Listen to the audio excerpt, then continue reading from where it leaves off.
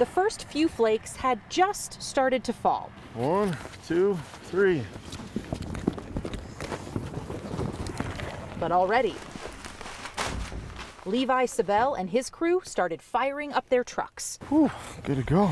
Uh, we got about uh, 20 uh, trucks working tonight and another uh, 15 to 20 uh, sidewalk shovelers. You gotta come over a little bit. For four generations now, Yes, we have uh, 48 years here in Colorado. Sabell's snowplow and landscaping service has been clearing roadways across the metro. Uh, mostly uh, commercial parking lots and uh, business parking lots all around town from super uh, centers to uh, basically just mom and pop places.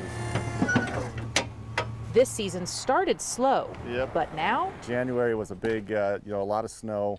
You know, I think we went out about six times for some customers, and so that's quite a bit to do in one month's time.